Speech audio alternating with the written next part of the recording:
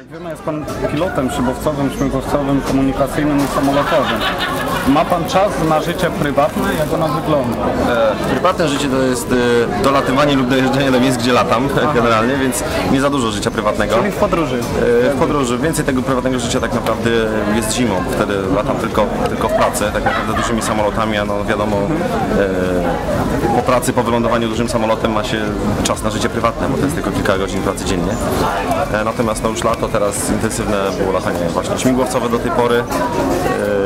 e, samolotami komunikacyjnymi teraz mam przerwę, więc latam po prostu, żeby, żeby podtrzymać nawyki na tych samolotach, a głównie zajmuję się akrobacją i pokazami. Więc tak naprawdę, jeżeli się to dobrze zorganizuje, można to zrobić. Jeżeli chodzi o szybowce, szybowce w tym momencie poszły w odstawkę. Myślę, że raczej wrócę do nich e, w czasach, gdy, gdy kręgosłup zacznie mi siadać, bo prędzej czy później pewnie tak będzie E, i wtedy będę się mógł cieszyć po prostu siedzeniem w kominie i, i wiszeniem sobie po 10 godzin na, na, na termicy. A, a miał Pan kiedyś jakiś problem z samolotem? Y, Nie wiedział Pan co zrobić wtedy?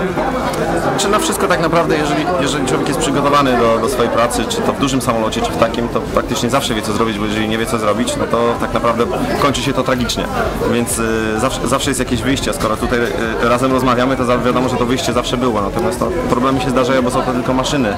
Maszyny są zawodne, aczkolwiek najbardziej zawodnym punktem tej maszyny, czy elementem jest człowiek.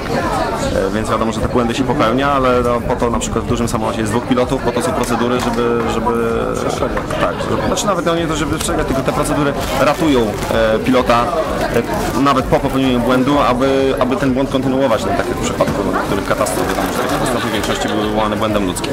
A jeszcze pytanie, jak Pan ocenia organizację festynu lotniczego tego W, ty, w tym roku jeszcze nie wiem, bo się dopiero zaczyna, więc do, do tej pory wszystko dobrze. Natomiast jeżeli chodzi o zeszły rok, to jestem bardzo zadowolony, ponieważ to jest bardzo profesjonalnie przygotowane. W zeszłym roku nie było ani najmniejszego problemu tak naprawdę y, z punktu widzenia pilota, jeżeli chodzi o sloty, czyli te czasy, czasy startów, y, paliwo, tankowanie, zakwaterowanie, wiadomo, bo to jest, jest wszystko, wszystko razem, więc organizacja była świetna. Poza tym potem bardzo miło, bo Piknik przygotowuje taki fajny album dla pilotów, nie? Za wszystkimi można, można sobie zobaczyć, bo wiadomo, że też nie mamy czasu, żeby siedzieć i patrzeć na wszystkich pilotów, co robią. Natomiast miło jest potem pooglądać sobie zdjęcia, jakieś, e, no, po, po, powspominać, wiadomo, że zostanie to, to na lata, więc to, to jest bardzo fajne. Aha, a męczy Pana sława, jak Pan idzie, nie wiem, do sklepu po zakupy takie codzienne? My, myślę, że, że lotnictwo nie jest jeszcze aż tak rozpowszechnione, żeby, żeby, nie wiem, sława jakaś goniła, nie uważam się za jakąś tam sławną osobę. Po prostu lubię, robię to, co lubię e, w gronie fajnych kolegów. Jeżeli się to podoba publiczności, ludziom, mam nadzieję, że zachęci kolejne pokolenia e, młodych, żeby wsiadać do samolotu i męczyć swój kręgosłup, e, bo też to po to jest. Tak naprawdę mnie też kiedyś jakiś pilot zainspirował i powiedziałem, że będę on akurat latał MiG 29 i akurat e, miałem farta, że znalazłem się w wieku tam 3 czy 4 lat na lotnisku, zobaczyłem, czy tak będę robił. Nie? Więc może, może kiedyś następne pokolenie dzięki temu jakoś, jakoś więcej osób się tym zainteresuje. A Pan pochodzi z rodziny lotników czy coś, że tak Nie, nie, nie, nie.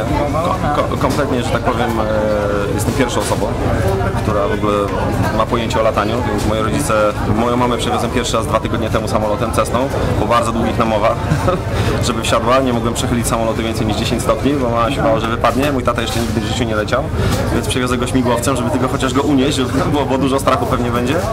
E, Natomiast no, mi się to wzięło pewnie dlatego, że mieszkam w Mińsku Mazowieckim i, i te myśliwce towarzyszą nad głową od dziecka po prostu.